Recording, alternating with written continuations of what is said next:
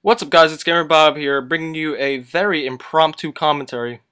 Now, uh, first of all, I'd like to say that it's very windy outside my uh, room right now, so if you hear any wind in the background, uh, I apologize about that in advance. But anyway, um, there's really big news in uh, the Call of Duty Activision War, yeah, Activision War, hello. There's really big news in the Call of Duty Activision world today.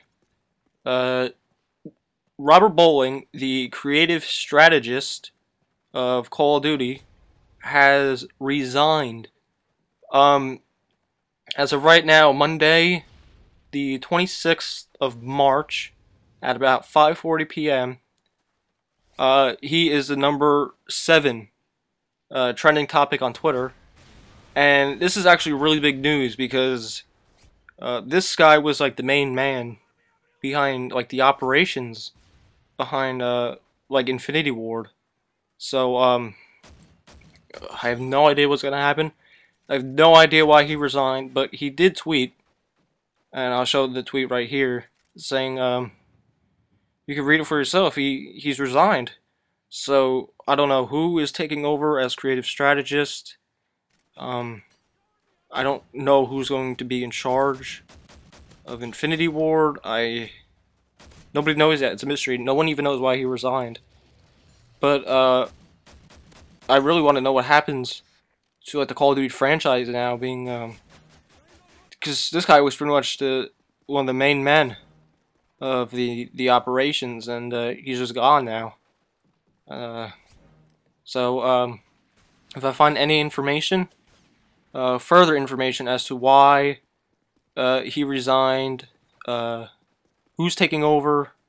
I'll link it in the description for you guys. But this is really big news. Um, it's it's pretty. It's been uh, really breaking over this this past half an hour. Uh, so yeah, uh, leave your comments in the comment section below. Uh, what do you think of this? Like, do you think this is good for Call of Duty in general? Do you think this is bad for the franchise? Um, what do you think is going to happen with Infinity Ward? Is Infinity Ward just going to collapse into itself and um, now Treyarch is going to make the games from now on? Who knows, but uh, this guy was the main man behind everything. He, you could see, you could see him in all interviews he does with people from Xbox. Uh, he's like main man. Uh, you could have tweeted him. He was in charge of like DLC and uh, what the people want.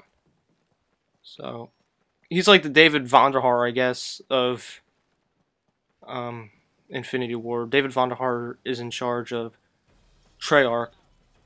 They're both like community managers or whatever. But that's it. That's the breaking news I got for you guys.